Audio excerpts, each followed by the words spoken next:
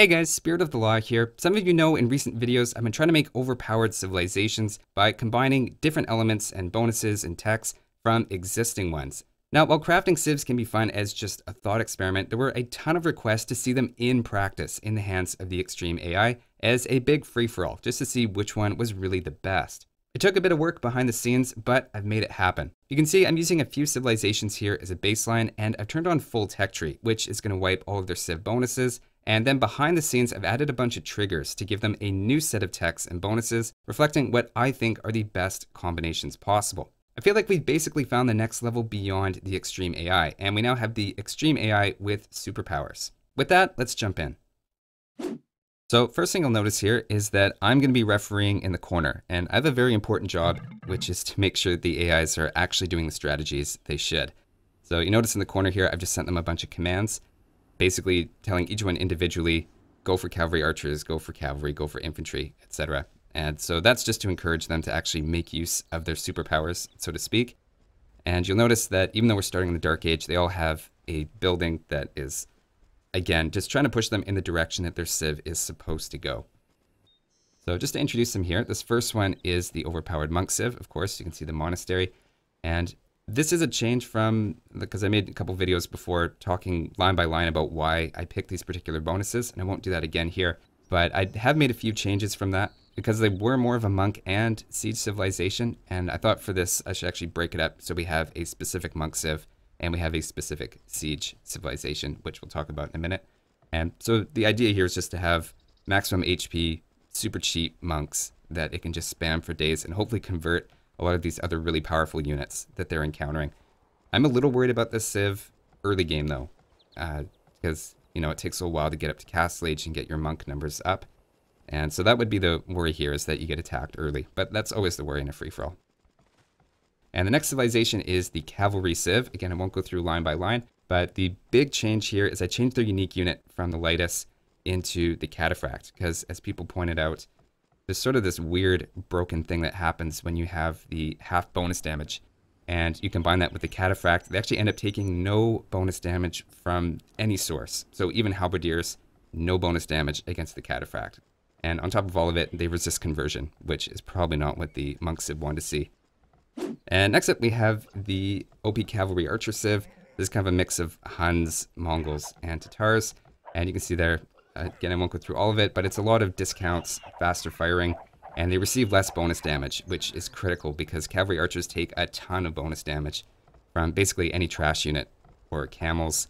They're just, that's kind of their big weakness. So hopefully that addresses it. And the unique unit is going to be the Mangudai, which combined with all of these stat buffs should be pretty amazing. So next, we're looking at the Archer Civ. We've got, uh, again, a bunch of discounts, more range, faster attack.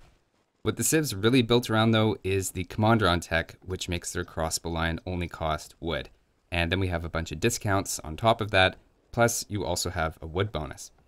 And basically you have 34 wood for a crossbow that is doing plus 8 against buildings and has insane stats. So that's really what this is all based around. Now the problem is they won't actually research Kamandaran on their own. So in case you're wondering about that, the way I got around that is if the civilization has a castle and they're in the right age, then it's automatically researched for them. Because without that, I pick the Mayans here. The Mayan, the AI won't even check if it has Kamandaran available because that's not available to Mayans. So I did have to sort of work around with that, and that is built into the triggers. So you get these big power spikes in each new age. Next up, we have a siege civilization. And you can see there, it's just a bunch of siege bonuses. I basically fit everything siege related into this one civ. Problem with this one that I'm a little nervous about is it's only really good in the late game. And up till, I mean, I, I guess you can make mangonels and stuff in early castle, but until the late game, they really don't have a lot going for them. So that could be a bit of an issue. And finally, last one here, we've got the infantry civ. Again, this is sort of a combination of a lot of different civs, but we got big discount, faster attack, more pierce armor, which is crazy because that's going to apply to Eagle Warriors as well. And I did make one change here. I replaced Wheelbarrow with faster moving infantry because I just think that we should be focusing on trying to make the most overpowered late game units possible. And I also replaced, actually based on comments, the Huskarl is now going to be the Kamayuk. So I'm going to let them build up here for a little bit, and we're just going to cut ahead as soon as we get through all this Dark Age stuff, and we actually get into some action. Okay, we're already getting a bit of action here. Just a little after 11 minutes, we've got the infantry civ is sending forward some militia here to try to take out the siege workshop.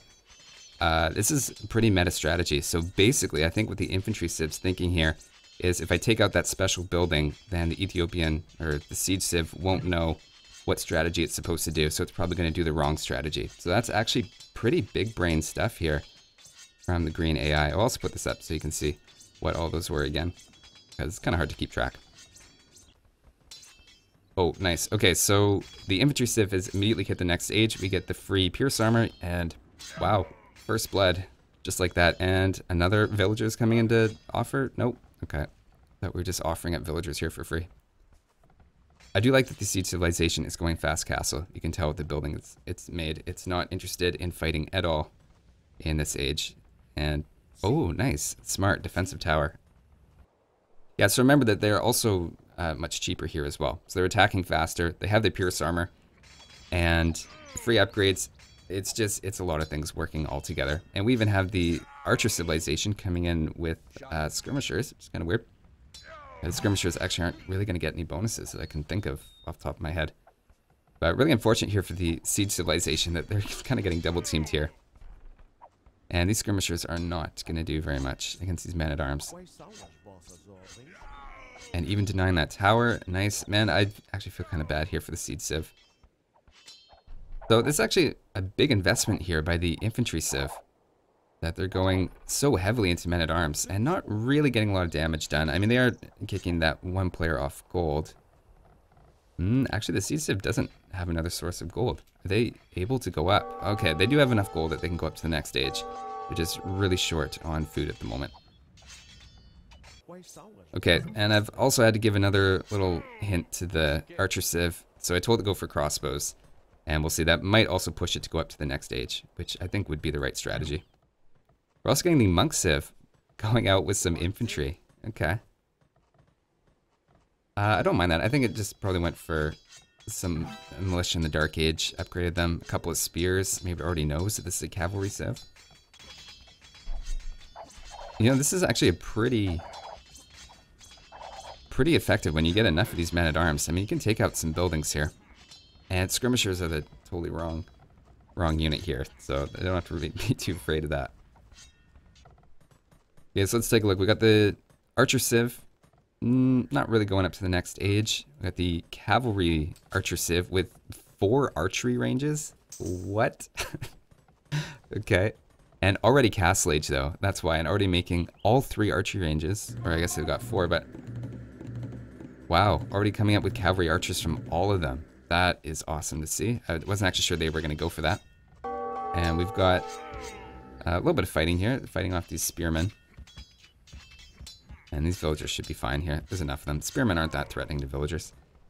And so our cavalry civ is almost at castle age. Our monk civ, uh-oh, uh, getting a little too invested here in feudal, I think. They need to go up to the next age so it can actually start making monks. Because they have to mass up early.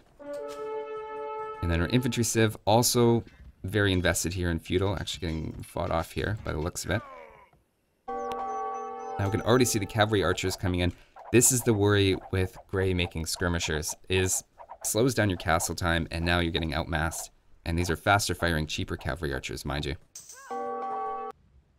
And Monk Civ, still a little confused about what it's supposed to be doing. It seems to be going really heavily for men-at-arms. I, I mean, if you want to know why, it's because it's Aztecs. It thinks it's an infantry slash monk civ. And I'm just trying to encourage it to do the monk part, but it's tough without actually going back and, and programming the AIs from scratch. And they're just going to do kind of weird things for a while. But hopefully the late game, they'll sort it all out. Okay, so this is actually going to be a decent number of cavalry archers here. Uh, unfortunately, they are doing, what, just one damage? Yeah, per shot to these buildings. So these are actually pretty good arrow fodder if you're the archer here, as long as they actually have wood. They actually don't have a wood source at the moment and are streaming in archers. Oh, this is what you hate to see. Is just streaming archers. And meanwhile, infantry civ still applying pressure here. Uh, have we gone up? All right, please tell me you've clicked up. Okay. The problem is that siege isn't even a good way to deal with men-at-arms at all. Even if uh, you do get up to the next stage. Hmm. Okay. We'll see what happens there. And finally making crossmen. That's good. That's what they should be making. Uh, although they don't get the Kamandaran tech yet, they have to build a castle first, and then they'll instantly get the Kamandaran tech, so it doesn't cost them gold anymore. And let's check in on the cavalry civilization, which I feel like hasn't really done anything so far. We've got a couple of stables, but not really making anything yet. Still no monks yet, They'll just hit Castle Age, so I guess that might take a little bit. I actually like crossbows here. I think that's the right response anyway to cavalry archers.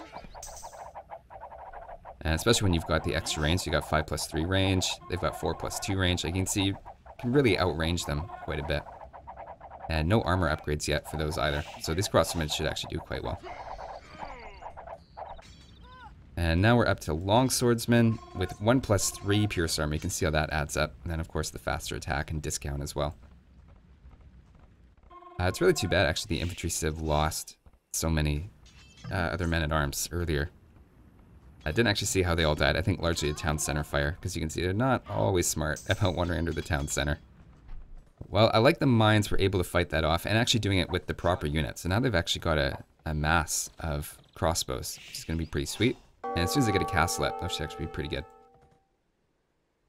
And now our infantry civ coming forward with a lot of siege. Unfortunately, uh, it's so cruel. The uh, the siege civilization is actually going to be killed largely by siege uh, if they don't do something about this. Because that's a lot of...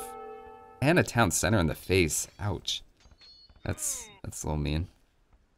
Alright, and finally starting to see some monks. This is what I like to see. I want to see some mass conversions here with the AI's micro. And we have a ton of knights coming out. Okay, so it's good that we're actually starting to get knights going. And they're actually the score lead. The cavalry civ. Okay, good. I still think it's way too early. I think Gray got raided pretty hard there, was off wood for a while, and which unfortunately is actually the most important resource for them.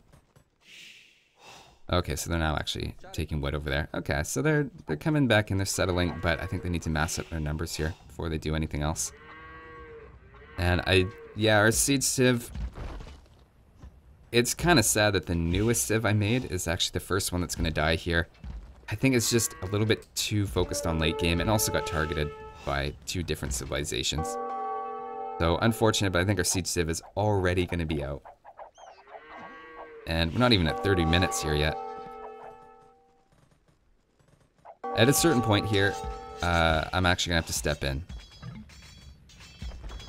And so it's rebuilding its base. At a certain point though, the AIs just get hung up on buildings and stuff. So I'm just to uh, get rid of, like, torpedo them and just destroy their buildings so that, you know, we don't have to watch the infantry civ slowly dismantle their base over the next 10 minutes. Yeah, got the cavalry archer numbers back up. That's nice to see. I like they got the armor upgrade as well. It's kind of lacking there, considering they were up against archers. Oh man, this is it. Monks, prepare to defend your town. Dude, what's nice is these are really good knights too. These are 140 HP because they have 20% more HP, which is based on their 100 HP baseline, plus they have bloodlines on top of that. And starting to see a few monks gathering up here. We got like five going on at once. You can see, yeah, starting to, starting to get some knights here for yellow who shouldn't actually have access to knights. So four knights there. That's some nice conversions. And some pikes as well. They're actually going to do some work here. Although I guess the uh, Knight is only going to take half the bonus damage. Yeah, so successful defense from the monks. That's good. I was actually kind of worried about them in Castle Age, so that's nice to see. I'm really surprised Cavalry Archers here are actually winning. I would have thought Mass Crossbow there, with considering all of the stat buffs they had, I thought the Mass Crossbow were going to be able to take them out. And, well, I mean, if you just stand there and get shot, that's... I mean, you guys had that coming. Yeah, I don't know. It feels like the uh, Archer Civ here is constantly under pressure. I'm a little worried over here as well that these monks aren't going to have time to recharge between attacks, but so far they got all their faith back, so that's good. You can see they've got 75 HP, which is pretty solid. what is this? I He must have just placed those. That's really weird. Why would it place them so far away? Huh. Okay. I'm starting to get some alarms here. Okay, so any second here, I think when this goes down, or when this is very obviously about to go down, I'm actually just to take out the civ, because they're just distracting one of the players at this point. I mean, they don't really have a chance to get back in it. Cavalry Civ must almost be up to Imperial. Yeah, halfway to Imperial by 32 minutes. I mean, that's solid, especially after making so many Knights and Siege. Yeah, I mean, that's a lot of eco bonuses helping him out along the way. And, I mean, now their town center's taken out. I... This is just... You know, the infantry civ's just gonna chase them around forever. They don't really have a chance to come back. I mean, no resources, nothing's being produced. So, I call it as a referee. I say, you know what, Siege Civ, you're out. You got no chance to come back. So, Siege Civ is gone. Again, kind of unfortunate. That's the one I made just for this game, but I think a little bit too late game focused. And how many monks is this, actually? Okay, just seven monks? That's all you got? Eight monks, okay. Uh, I don't think that's to be enough.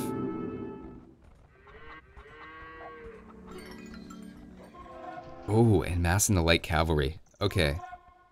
So, this is going to be an interesting fight. We've got a lot of monks and pikes against light cavalry, which counter the monks, have some conversion resistance on top of just the civilization's resistance. But I think they are going to get taken down by pikemen.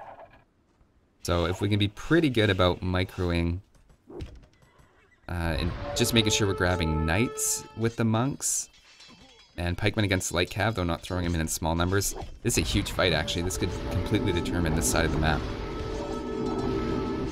I can see a little bit of slide stepping here. Okay. Alright. Not bad. We actually managed, I say we as if I'm cheering for these guys, but actually managing to steal a lot of light cavalry there. And that's not just one less for your opponent, that's one more for you. So that's almost like two units. And again, forcing him back with nothing but monks. Uh, this is bad though. I, I mean, more HP or not. Oh. Yeah, there's still uh, some more glitches with the AI, which is really unfortunate because they only had like eight months there. See, this could have gone so differently. If instead of just very slowly sliding under the town center getting hit there, they'd actually converted those mangonels. That would have been that would have been massive. Imagine four yellow mangonels here. Or I guess onagers now. I already upgraded them. And this is not good. Not good. What have we got? Two monks left. Not good. And what a cavalry archer. Cavalry archers have decided that they're now also a knight civ. And also a crossbow civ and also a pike civ. So they're losing a little bit of focus here on what they're actually supposed to be making. And so I sent them a little message here to say, uh, no, remember cavalry archers is your thing. And it basically says, uh, no. so it's just kind of doing its own thing now. Oh, nice. We're starting to see elite cataphract. So because they're Imperial, they are getting the plus 5 from Farimba.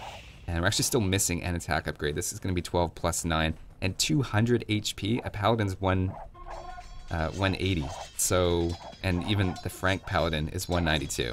So this is tough in a Paladin, although less Pierce Armor. Okay, I would just like to see you guys get a castle here, because I want to start seeing... Let's get up to Imperial, let's demolish some buildings. Uh, the Archer Civ is not really involved here. Yeah, I'm losing a little bit of confidence in the monk ability to actually fight this stuff off. It's not making monks anymore. Uh, we're not even really making anything anymore. Uh, only got 9 military units, have 127 economy. Uh, there's no reason we can't be making more units here. By getting pretty heavily rated. Hmm. Okay, well, we'll see. I'm not feeling great about that. And we're seeing the Eagle Warriors coming out now. Yeah, with 4 plus 7 Pierce Armor. That's crazy. And we're also getting some of the champions with 8 melee armor, 7 Pierce Armor. And it doesn't look like their attack's that great, but they're attacking 33% faster. So over time, it's going to add up to a lot. And this is a big problem. If... What? That was at like 95% or better, and they just destroyed it? Because when they get the castle they get their unique techs. And so now they're starting another castle when it was 95% there. that's bad because that means that they're not going to be getting. Uh, what do they're missing out Kamandaran, and they're also missing out on Obsidian Arrows, which I guess wouldn't help too much here because these Eagle Warriors are just shredding everything. Meanwhile, uh, okay, stabilizing again a little bit. Uh, let's see. Yeah, see the monks, it's that conversion resistance just too good. You're not going to be able to steal units one-on-one, which means I think the monk civ's in a tough spot, and definitely the archer civ is in a really bad spot right now.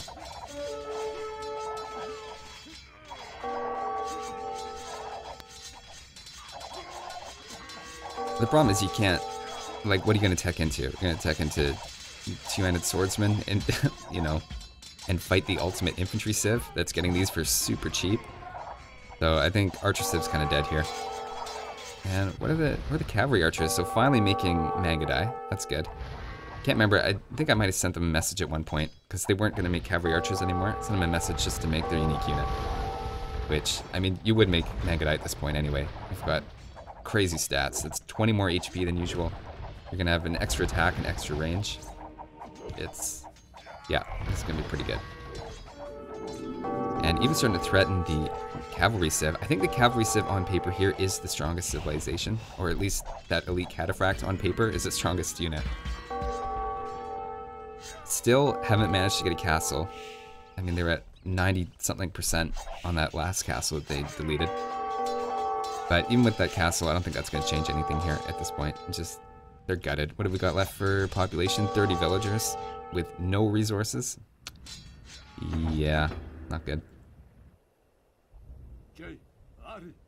And is this all the upgrades? Can't remember. Is this going to get any higher? I don't think so. No, that's that's their maximum stats, but that's pretty good against any archer civ. And the nice thing is, this is great against arrows and archers. You've also got uh, the uh, champion line, which and even arguably the halberdier line as alternatives, depending on what you're up against. Yeah, I think I don't think the monk civ is ready for this. The eagles are coming. And this is going to end pretty poorly, I think, for the Monk Civ. They just have nothing here. Like, yeah, your two-handed swordsman, I'm pretty sure one of these Eagle Warriors can take him out. Well, definitely got a group of them like that, yep. And meanwhile, the Cavalry Archer Civ, this is nice to see. I was worried they were going to get taken out too early.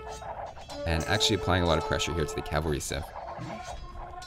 Because even if you're taking less bonus damage, it's still, it's a lot of arrows. And it's just, it's a lot of damage that you're going to be taking. And even managing the 2 versus 1 here, also going after the archer player, who's now going for plumed archers. I don't like that.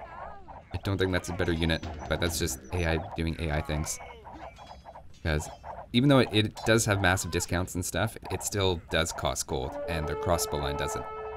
Probably won't actually matter that much at this point, though. Yeah, I think Infantry Civ has basically killed Monk Civ. just like the whole base is gone. We still have the monastery, so there's a chance. We've got one monk attempting to convert a mining camp. Okay. Well, I mean, to be fair, if you can then, if that villager hangs around long enough, you can grab a villager and start mining some stone, I guess.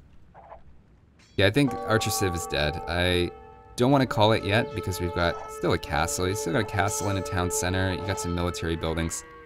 Maybe a little early to call it, but I think we're definitely getting there. The thing is, this is actually giving us some precious time for the cavalry civ to rebuild. So red here, unfortunately, is focusing on the wrong things. And I guess because it doesn't have any food. So that explains it. They actually don't have any sort of discount on the elite cataphracts. And still didn't even get that last attack upgrade. So you can see they've really been struggling for resources here and kind of lucky to have yellow as a bit of a buffer, even though yellow is very quickly going down to green. And finally, this castle might even be going down. So I think the problem for red is that they're in between the two. It seems unlikely that orange is going to send their units all the way across the map, and green is going to send their units all the way across the map. So I think while on paper, red has an amazing answer to the Elite Eagle Warriors, and that the Cataphract does extra damage to them and has just incredible stats. And doesn't even have to worry about the extra Pierce Armor. I mean, Red has a great answer to these. I think Red's just going to be up against just 2 versus 1, and unfortunately going to lose just because of that. Uh, we're going to have to call it here, I think. with yellow, because yellow doesn't even have a monastery anymore, and that's kind of their win condition. So yellow's out, Monk Civ gone, although did better than I thought they might, or I was afraid they were going to die to the first hint of aggression. I actually managed to use the monks to hold off the first few waves of attack from red, so that was nice to see. And red's got to come up with a plan here quick, or they're going to be two versus one, although it actually looks like green is going for orange.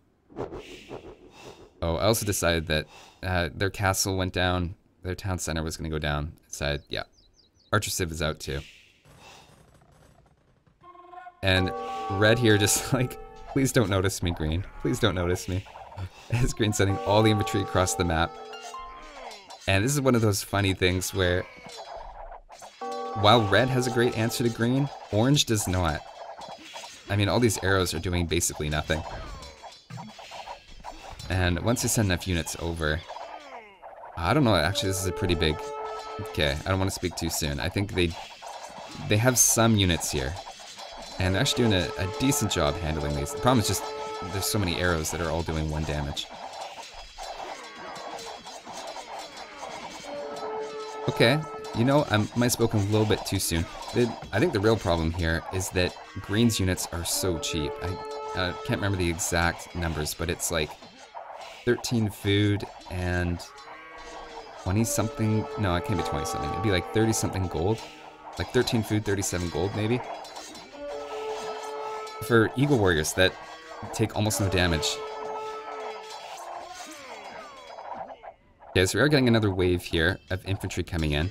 Oh, and we're getting the wave of siege rams. I think that's going to do it. I really think the elite Eagle Warriors here are the secret weapon. 13 food and either 33 or 34 gold, I think. Which is just insane, like once you apply the Goth discount to them. These units are so cheap to replace, and green has so much gold around the map that they can go grab. Red just like, don't notice me. Red, what are you doing? No, no, no. You need to hide. You need to build up your numbers here. So actually starting to get 42 on food again. Plus around 20 on gold. Like, this is decent. You actually just need these numbers to be built up a little bit. And it's funny, we have a little triangle thing happening where green is actually not... Green is very effective against orange because this is we have nothing but arrows and we have nothing but a unit that takes almost no damage from arrows. I actually think orange is pretty good against red. And I think red is actually really good against green because the cataphract is so insane against infantry. So red should just chill here for a little bit, not draw any attention, and maybe green will just kill orange for him. Although Apparently that's not happening. Green seems to have changed his mind and is now just going to 2 verse 1 everybody. And this is what I want to see. How do these elite cataphracts actually hold up here? I mean, they should do really, really good here. And we even have some decent numbers. I mean, how much damage are we taking? So 132 might take take some damage here. We're taking like 5 damage per hit from some of these units, like halberdiers which is just crazy. You're taking like 40 hits from halberdiers with each elite cataphract. Now they don't have trample damage, so this kind of fight actually isn't all that good for them. Because uh, yeah, I didn't give them Logistica, which in retrospect, well, it's either Logistica or Farimba for plus five more attack. So I don't know. You could uh, you could make an argument for both. But you can see just cleaning up all these infantry units with really just a handful of cataphracts, even holding back a bunch of them. Yeah, so here's the problem. The problem is that I think red is going to win that fight against green eventually. The problem is that now we've got all these Mangudai hanging out here. And they're obviously not going to go for green. Because AI doesn't hold a grudge like that. It's going to attack red because red's closer. And so now red's going to be attacked on two fronts. Again, I think they would win this fight. It's a tough one. But every single one of these cataphracts is going to take out 5-6 of green's units. Uh, but yeah, you've got no answer to this. And Cataphracts are not a good answer to this because they have 13 attack on the Mangudai, and you have 5 armor, so you're still taking 8 damage with every arrow. You're taking more damage from a Mangudai shot than you are from a Halberdier, which is kind of funny as a cavalry unit to say. Yeah, so you can see all these elite Cataphracts are just going down really quickly. Almost trading one for one, I would say, which is not what you want. when you're also being attacked on the other side. And just like that, man, red went down fast. Which is funny, I think they were holding just fine against green. But the Mangudai. So now we need to start thinking, okay, well between green and orange, who counters whom here? And the problem is there's so much Pierce armor. I mean, not on the Kamayuk. The Kamayuk's actually not a great unit at all, because a lot of the bonuses for the infantry civs don't apply to their unique unit. It applies to barracks units, which is why we actually get way better stats on the Eagle Warriors. So if green goes for nothing but Kamayuks, uh, even then, uh, I don't know, they can still swarm you. I think the problem is green can just swarm too easily. And even if you're taking half the bonus damage, you're still taking a lot of damage from these units. Alright, this is starting to be a lot of, uh, a lot of spam of alarms. I'm trying to be conscious of that. Yeah, we're even getting Siege in here. Random Mangonel in there. See, that's just going to damage your own units more. No, no. No Mangonels. Just, yeah, don't do it. So at some point here, I'm going to have to take red out of this game. Because uh, I don't really have a chance to come back in it. The the fight is between the other two at this point, and they're just going to get hung up on destroying red's buildings. So I'm not sure at what point exactly I'll do that here, but that's going to happen pretty soon. Alright, I think with this castle going down, I think we have to call it. I mean, what hope does red really have of coming back here? So, red's out, and we're down to Actually, not two civs I would have picked at the beginning. The Cavalry Archer, which again I was really worried about. I knew they were really good late game. And the Infantry Civ, which is actually really surprising. Yeah, I would have thought the Cavalry Civ would have completely taken them out, but obviously the game's gone a little bit differently. And this is a lot of units, man. And a lot of really good units. Even the Halberdier have 7 Pierce Armor being a little bit distracting what units it's making as well. I'm actually wondering what's the gold situation. Yeah, hmm. That can be a concern as well. Even though they are heavily discounted, they still do cost gold. So you're going to need to secure some gold to make these, uh, the Mangudai. And you're already seeing them rely on uh, skirmishers, which have, what, 7 attack? And all these have 7 pierce armor. so, yeah, uh-oh. Okay, well the Kamayuks are here, and they're gonna try to take out this castle, basically with Kamayuks. Oh, I guess we have a few traps. Okay, this castle's gonna go down. And after that, I mean, what has Orange got? Building another castle in the back. We have another one. Obviously, castle's really important, so you can make Mangudai.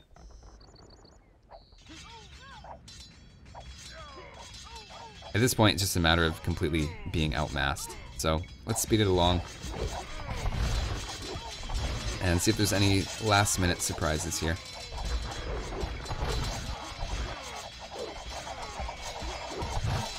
Yeah, as soon as I start calling out for help, that's kind of my signal they're in trouble. I mean, there was nothing left, so nicely played. OP infantry civ ends up winning it. And wait, what? I'm switching sides. Fare thee well, loser. I and my troops can easily vanquish seven times your number. Wait, you're betraying me? I created you, and I can destroy you.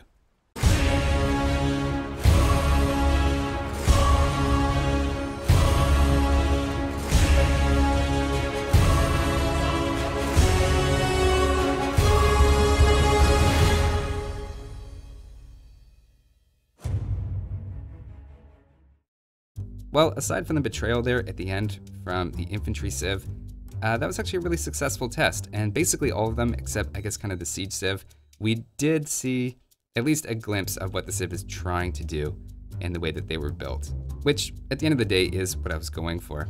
Now, before I get asked, unfortunately, this is not a mod that I can share and just put up online with you guys, or I definitely would have. This was all done with triggers in the scenario editor. But that said, I know there's at least one mod out there that takes at least some of these civs and has actually made them into a mod so that you can actually play them and you get the proper bonuses and everything. So if you are interested in playing it, you can either do it with triggers or you can take a look for one of those mods.